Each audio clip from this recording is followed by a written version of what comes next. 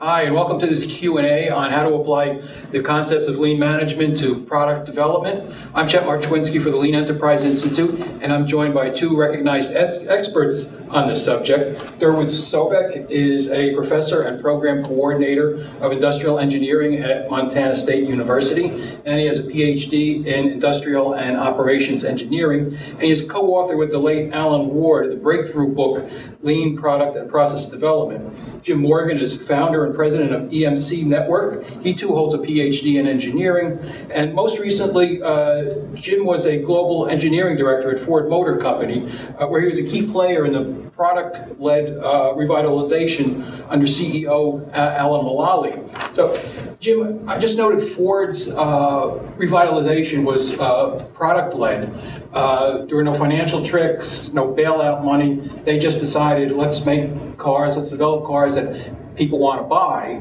Uh, were there any lean concepts involved in that uh, product revitalization? Sure, absolutely. Um, the first thing was we realized just how critical having great products were to the success of the enterprise.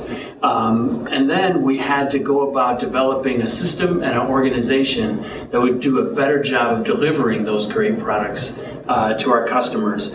And all throughout that, uh, whether it was the people side or the process side, we applied lean principles. And um, how about uh, you just finished a, a, a, re-edit and with new material, along with contributions from Jim, of the uh, Lean Product and Process Development book. So, what is Lean Product and Process Development?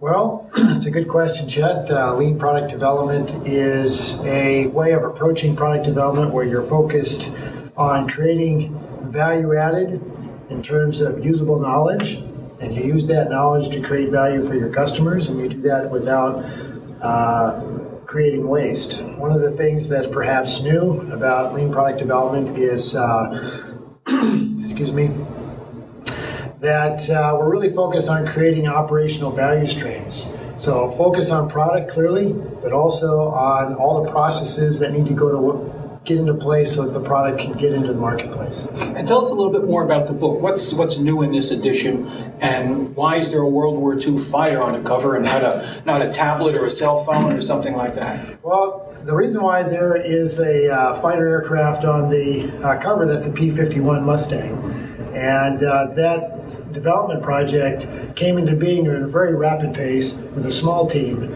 and we think epitomizes the uh, essence of a lean development uh, program. And one of the things that they used predominantly in that development project was the use of trade off curves and other data visualizations. and that's one of the key concepts that's in the book. Uh, the other thing that we did uh, with the book is uh, we tried to develop a few of the concepts a little bit more. Um, we tried to update it with the most recent thinking in lean product development. And we introduced uh, new case examples that weren't in the book before, and we tried to update the ones that were there.